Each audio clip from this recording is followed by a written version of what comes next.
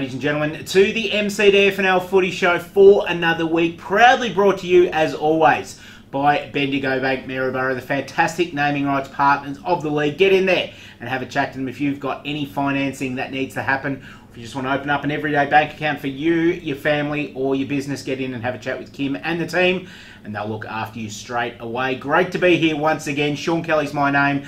As always, sitting in the host chair and joining me once again is my co host, Sam Gowers. Sam, welcome to the show again, mate. Thanks, mate. Always happy to be here alongside you. Always glad to have you here alongside me as well, because if you're not here, then normally we've got somebody that doesn't quite know as much as you, and it makes for a worse show. And they're just not as good looking either, mate. I'll let you. I'll let you out there be the judge of that one. I'm just going to stay completely out of that. We're going to jump straight into the talking points for the last week in the MCDFNL, and the first thing we're going to talk about is goals. Goals win games.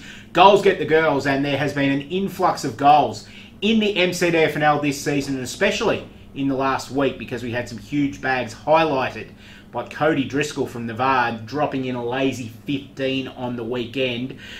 Beat Talbot three times over, all on his own. Yeah, upstaging older brother Ash as well. Mm. Ash would have been pretty happy uh, with seven, but Ash would have been pretty happy that they gave him the 15 initially on Saturday night, and I've looked and said, geez, Ash has had a big one, and someone's told me no, it was actually Cody. So the young, the younger Driscoll's up and about. Probably not happy that it got changed back actually Yes, to his younger correct. brother. But we had some other big hauls on the weekend as well. We did. Shaun Jason Hunt from Natte Bealiba slotting home at eight. Yep. And big Josh Brown from up at Royal Park. He's in some form at the moment too. In some serious form. So we've got Cody Driscoll with Yep. 17 goals and Jason Hunt with 17 goals locked at the top of the leaderboard. And I think Brownie's just one behind them as well, isn't he? Exactly right. So it's been the year for big bags of goals. Some interesting names on the goals leaderboard as we just saw as well. Good to see Trentham with a couple of blokes up in the leading goal kickers as well. Talking point number two is Junior Interleague being played tonight. So if you're doing nothing tonight, get out to Royal Carisbrook Reserve and check out our Junior Interleague sides starting at 6.35pm with the under 14s taking on the Central Highlands Footy League in their annual challenge matches and love to see as many people as we can get out and getting out there Sammy and supporting the future of the MCDFL. Yeah, certainly some of the uh, MCDFNL's best young talent on show out there for sure. Two games being played under 14s and under 16s again, starting at 6:35 p.m. tonight out at Carisbrook. So get out there and support our young MCDFNL footballers. Talking point number three for this weekend, of course, this weekend is Mother's Day throughout the well throughout Australia, not just throughout the MCDFNL. But we want to say a big thank you to all of the mothers that are involved within our football and netball clubs. Obviously, the ones that play on the netball courts, but also the ones that are helping out, that are volunteering, that are in the canteens, that are on committees, or just the ones that get along and drive their sons and daughters to the football and the netball every week. Thank you very much. Without you, our clubs and our league don't run. So, with Mother's Day this week, Sammy, we thought we'd throw a bit of a shout out to the mothers and I suppose appreciate them for all of the hard work they do in helping our league be run so successfully. Yeah, and there's certainly lots of mums out there, Shaun, behind the scenes at clubs. So yes, we do say a big thank you to the mums, and I'm sure they'll be happy that there's no football or netball this Sunday. They'll be able to put their feet up. Yep, very much so. The crowd spoke a couple of years ago when we did have the regular Sunday games, and they said nothing on Mother's Day, please. So we said not a problem at all. And I think second year in a row we've been completely Mother's Day free. Yeah, I'm sure uh, all the footballers and netballers out there will be able to look after their mums instead. Be very good for me as well because I'm making the three-hour round, uh, the six-hour sorry round trip to go down and see my mum and have lunch on Mother's Day. Let's jump straight into the footy for this week, though round four because there's some juicy, juicy games coming up this weekend. Harcourt on the got got a bit of a touch up last week to Carisbrook. They'll travel out to Avoca this week and start pretty warm favourites to get themselves back on the winners list at the Avoca Public Park. Sammy, Yeah, certainly Harcourt have probably started the season a little bit up and down, but they'll be confident of getting a win over the winless Avoca this weekend, and I'm going to back the Lions to get the Yeah, job done Lions. easy. Lions for me as well. Avoca just that little bit off the boil this year, and just not not quite as competitive as what they'd like to be. But I'm sure Jamie Brody's doing everything in his power to turn that around. Yeah, plenty of new players out at Avoca this year as well, so we know it takes a while for them to gel together. Natte Bealiba taking on Dunolly at Natte Yallock Reserve this week, and could this possibly be a danger game for the Swans? They're on they're on they're in form at the moment. They're on fire. They're doing very very nicely. But so are Dunolly. 90 odd point win on the weekend up against Maldon and 2 and 1 at the moment, going along quite nicely. And all the doomsday that we heard six weeks ago completely forgotten because the Eagles are flying. There's no doubt about that. But then again, so are your Swannies.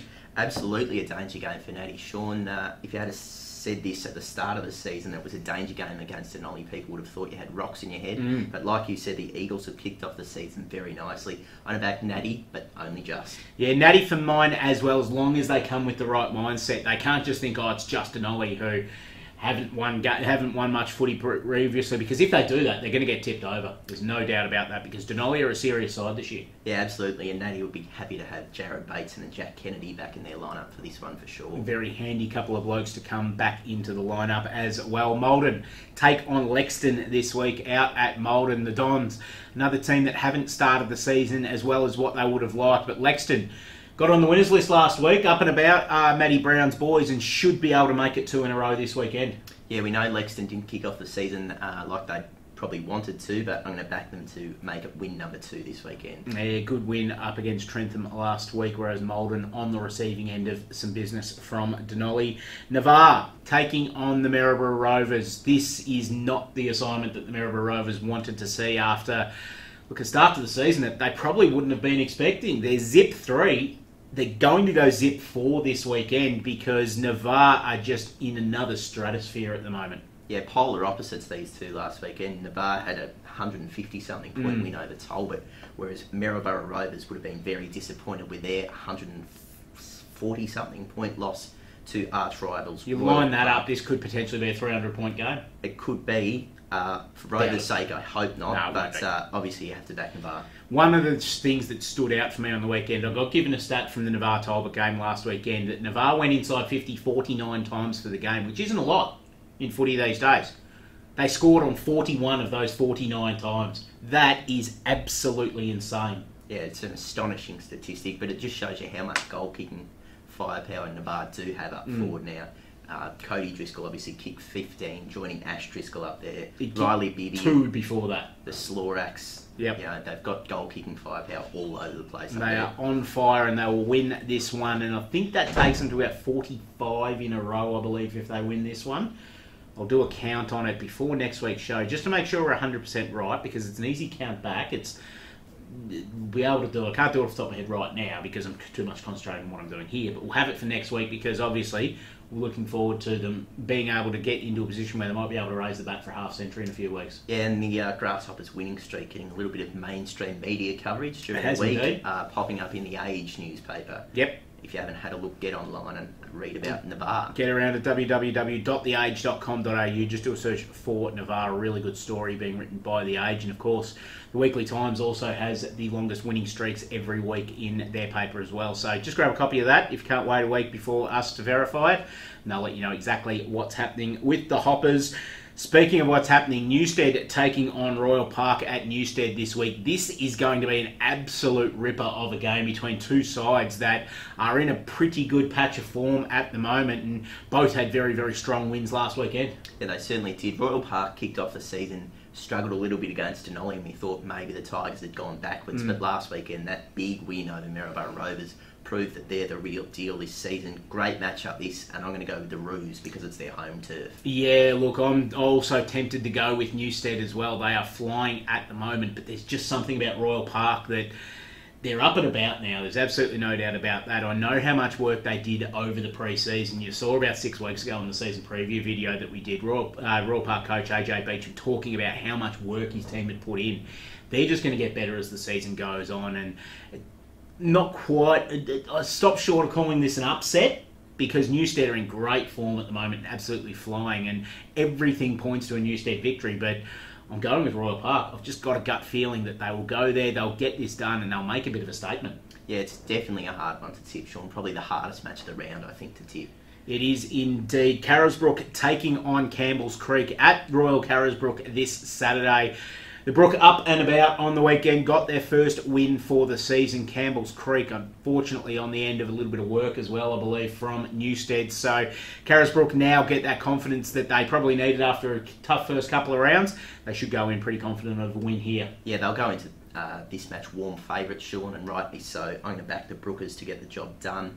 Uh, they will be missing Jaden Hind for a couple of weeks, though. Got a hand injury that's going to keep him on the sidelines. Hind with a hand, that is no good at all, but it's good for alliteration, so we'll just keep on that one. Good to see Brady Neal in the interleague squad as well. They were calling him Brady Bowen last year with all his ruck efforts, and now Jacko's back, still going along very, very nicely. Any word on Big Nathan on the weekend? No, I haven't had a look at Big Nate's stats. He's uh, keeping a low profile at the moment. he's keeping a low profile. I'm tipping not much happened because if something happens, he's normally on the blower pretty quickly. And you'll know all about it on here if something does happen. You will indeed. The last game for the round, and arguably the match of the round as well, up against that Newstead Royal Park game. Trentham taking on Talbot and Twilight fixture up at Trentham. That'll sort the men from the boys now that we've hit May and things are just starting to get that little bit colder. Talbot going okay at the moment. Trentham going okay as well. This will be a really, really good game. How much of an impact does the weather make on this? We know that Talbot went out there at a similar time last year, played a game under lights, got rolled over in a game we expect them to win. They didn't do it. The weather is a factor at Trentham. It always is because no matter what the degrees are, no matter what it is in Maryborough or Natty or Avoca or anywhere, like that, it's always two or three degrees colder. in Trentham gets in people's heads. Yeah, no one likes going to Trentham to play. No hiding that fact, especially at night under lights, gets even chillier. I'm going to back Talbot to bounce back from that heavy loss to Navarre last week. Uh, your mate Matt Smith, Yes. Dallas Buyers will have been into the boys on the track this week, I think, and had them primed to knock off the Saints. That being said, I'm actually tipping the Saints. They are going very nicely at the moment. They probably don't mind too much that nobody likes going out there because that gives them a real fortress at home. Having said that, they're very proud of their venue and quite rightly so because they put a lot into it to make it a very warm, hospitable place, which it is. And their football's going okay at the moment. Just, I think it was three goals against Lexton last weekend, which is a huge improvement on where they've been in past years. I think they can do it at home this weekend in the twilight against Talbot and get their second win for the season. It's the MCDFNL Footy Show for another week. Sammy, good job by you today, mate. Well done. Short and sharp, just how we like it. Exactly right. Thank you for joining us once again on the MCDFNL Footy Show, brought to you, of course, by Bendigo Bank in Maryborough. We'll be back again next week with everything happening from around your favourite league, the Maryborough Castlemaine District Football and Netball League.